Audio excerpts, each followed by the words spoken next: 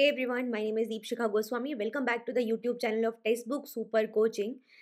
आज हम आपके साथ में बात करने वाले हैं आपके पाँच दस मिनट जो इस पर्टिकुलर वीडियो को आप देखोगे ना वो बहुत ज़्यादा इंपॉर्टेंट होने वाले हैं बिकॉज़ आज मैं आपके साथ में वो सारी चीज़ें वो सारी स्ट्रैटेजीज़ वो सारी इंपॉर्टेंट बातें शेयर करूँगी जो अगर आप सुन के जाते हो डेफिनेटली आपके मार्क्स इंप्रूव होंगे।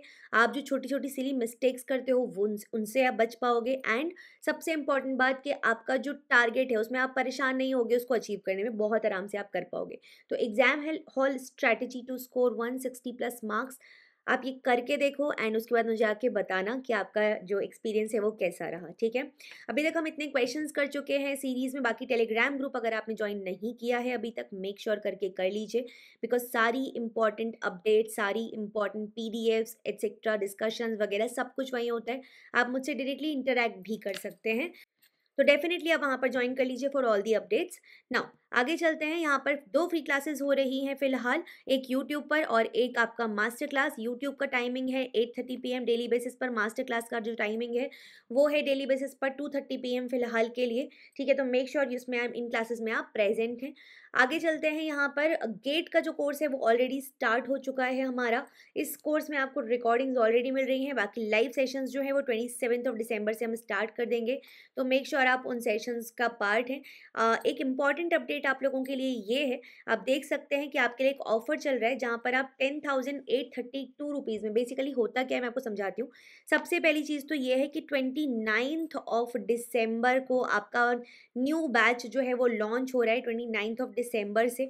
मतलब का जो आपको जून सेशन या जून साइकिल के लिए जो लाइव बैच हम लॉन्च करने वाले हैं कंप्लीट कोर्स का पढ़ाने के लिए, वो स्टार्ट हो रहा है आपका जैन से फ़र्स्ट वीक ऑफ़ जैन में स्टार्ट हो जाएगा।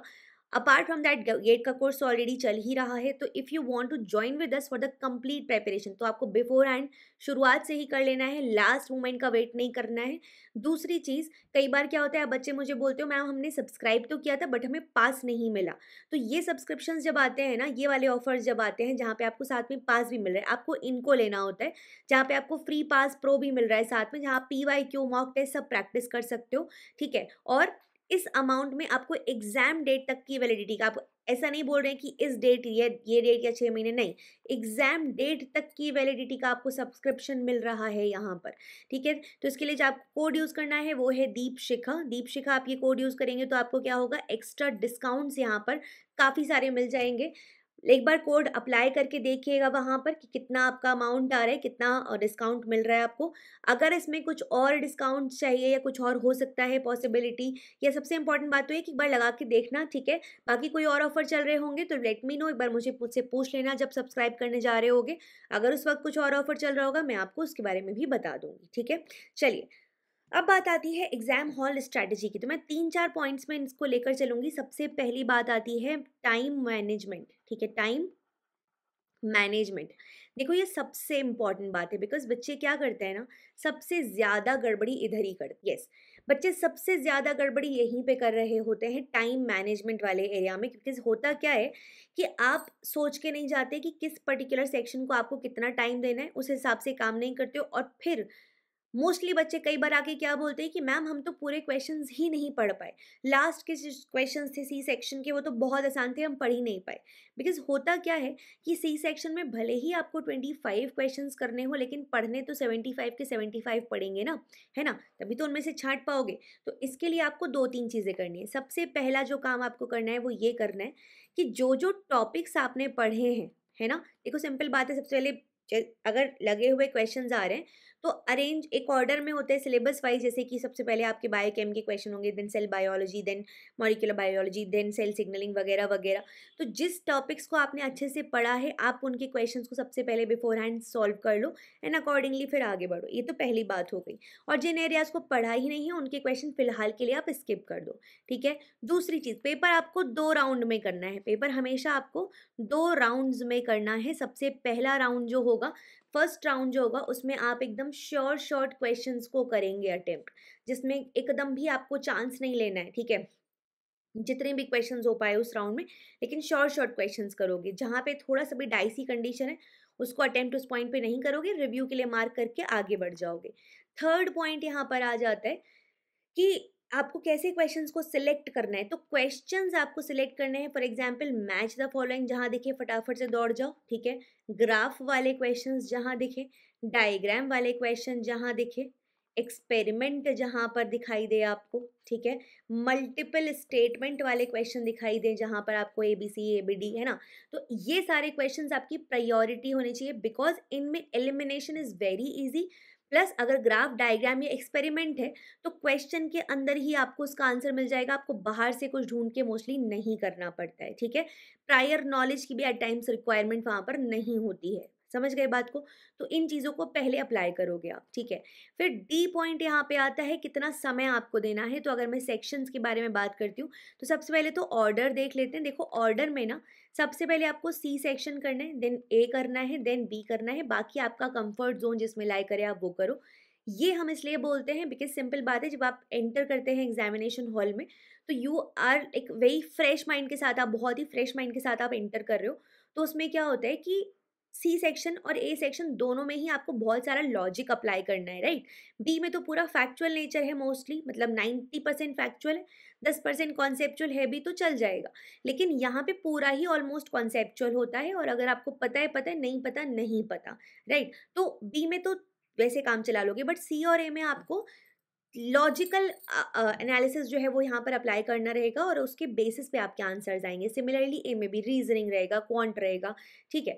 और सबसे ज़्यादा मार्क्स का भी यही सेक्शन है। तो सबसे पहले आपको सी सेक्शन करना है, फिर ए फिर बी फ़र्स्ट राउंड में आपने पेपर को किया, ठीक है? इस तरीके से निपटाया एंड उसके बाद वापस से सेकेंड राउंड पे आओगे और बाकी जो क्वेश्चन आपने रिव्यू के लिए मार्क किए थे, उनको अब आप करोगे, ठीक है? और रिव्यू के लिए मार्क आप किन ऑप्शंस को करोगे, ये भी बता देती हूँ मैं आपको।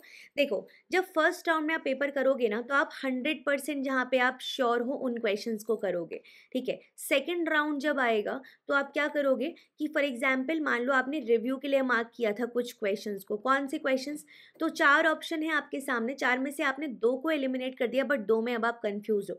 ऐसे क्वेश्चंस को आप रिव्यू के लिए मार्क करोगे और ऐसे क्वेश्चंस को अब आप यहाँ पर सॉल्व करोगे सेकेंड राउंड में, ठीक है? थर्ड पॉइंट आपका है कि भाई ईगो पे नहीं लेना है किसी भी क्वेश्चन को। बच्चे क्या करते हैं? बच्चों को लगता है एक क्वेश्चन पकड़ा और उसमें बहुत सारा टाइम इन्वेस्ट कर दिया। उसी को पढ़ते जा रहे हैं, उसी को देखते जा रहे हैं ना? लग रहा है कि बन जाएगा बन जाएगा, बनने वाला पाँच मिनट निकल गए, दस मिनट निकल गए, पता ही नहीं चला कब पेपर में इतना सारा टाइम आपने एक क्वेश्चन पे इन्वेस्ट कर दिया।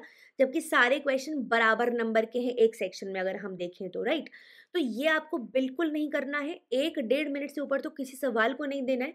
अगर आपको लगता है कि बन सकता भी है ना, तब भी नहीं देना है इससे ऊपर का टाइम। मोस्टली आपको क्या करना होता है उस पॉइंट पे, उस क्वेश्चन को just leave for that moment, उसको वहीं का वहीं छोड़ दो, आगे बढ़ो। यू विल कम बैक जब तक वापस आओगे ना उस सवाल पे तो शायद आपके दिमाग में कुछ रिफ्रेशमेंट हो चुका होगा। आप स्टक नहीं होगे एक जगह पे, एंड आपको शायद उसका आंसर फिर बहुत क्लैरिटी के साथ दिखाई दे। ठीक है? तो ये करके देखना, रुकना नहीं एक भी सवाल पे, ओके? रुकने का मतलब बहुत सारा टाइम इन्वेस्ट मत करना। फिर फोर्थ पॉइंट यहाँ पर आ जाता है कि कई बार क्या होता है, कुछ क्वेश्चंस में ना स्क्रोलिंग का प्रॉब्लम होता है। मतलब कि जैसे फॉर एग्जांपल आपको ये बहुत, जैसे फॉर एग्जांपल ये पूरी आपकी स्क्रीन है ना तो स्क्रीन में यहाँ पे आपको डायग्राम दिया है और यहाँ पे राइट अप लिखा है। अब आप कभी ऊपर स्क्रोल कर रहे हो, कभी नीचे स्क्रोल कर रहे हो, इसी में बहुत सारा टाइम चला जाता है।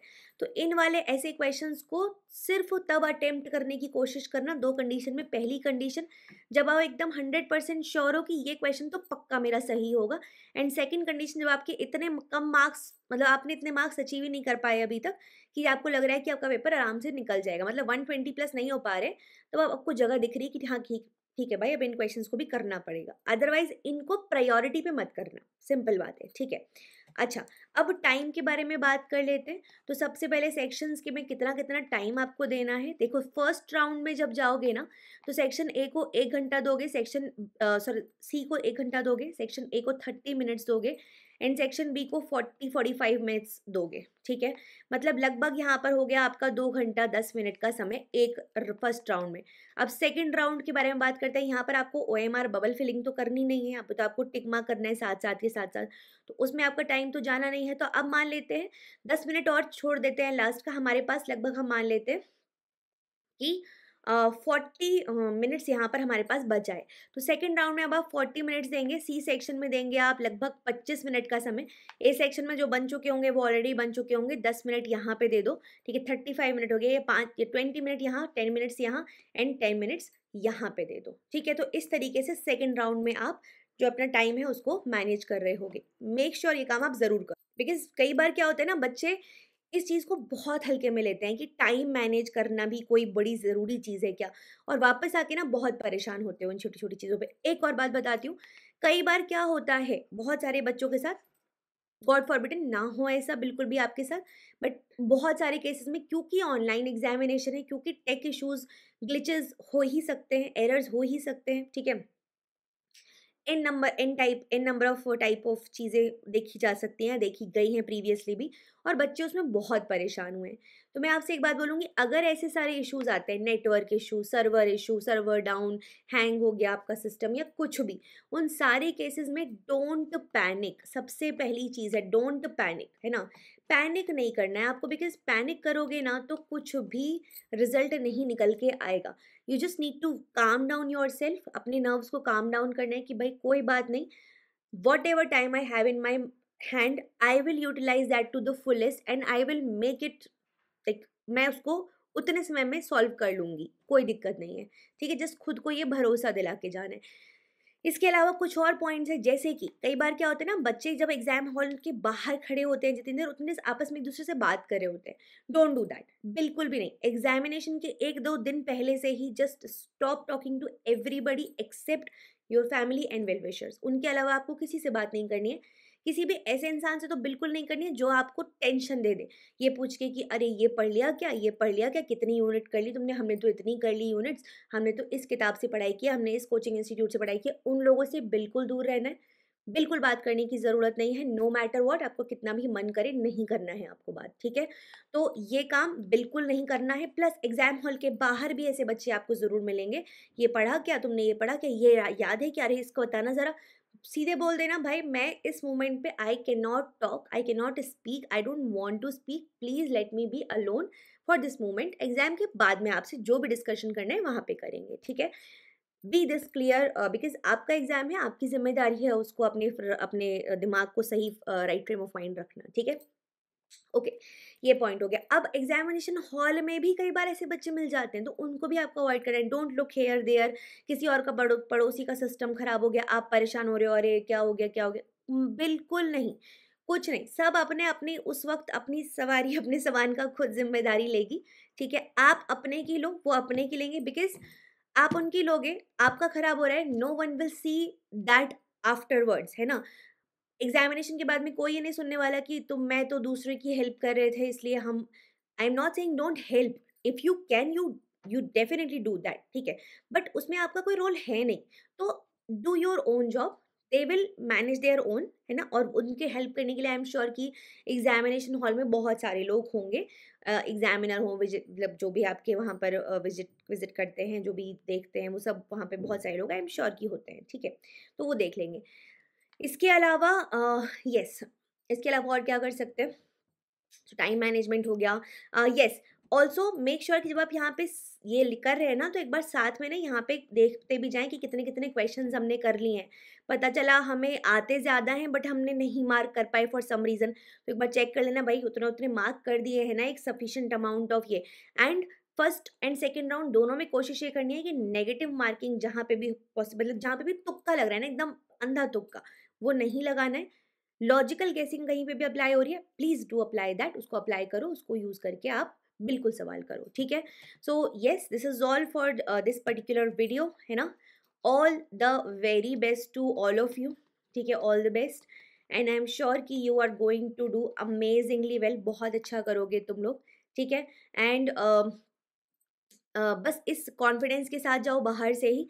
ये जो टेंशन हो रही है ना तुम्हें कि भूल रहे ये हो रहा है, वो कुछ नहीं हो रहा है, सब याद आ जाएगा, वहाँ बैठोगे एग्जामिनेशन हॉल में एग्ज़ाम लैपटॉप के सामने सारे क्वेश्चन के आंसर अपने आप दिमाग में आते चले जाएँगे। इस भरोसे के साथ जाओ, आके मुझे बताना कि कैसा हुआ, बाकी तो अभी मिलती रहूँगी मैं आपसे दो तीन दिन बट येस ठीक है? So this is all for this particular session अपना ख्याल रखो टेक केयर एवरीवन जो लोग जून के लिए पढ़ना चाहते हैं, आपके पास आज का ऑफ़र है जिसमें आप ज्वाइन कर सकते हो by using the code Deepshikha which is my name take care everyone bye अपना ख्याल रखिए, बाकी पास भी आप यूज़ ले सकते हैं by using the code Deepshikha pass, ठीक है?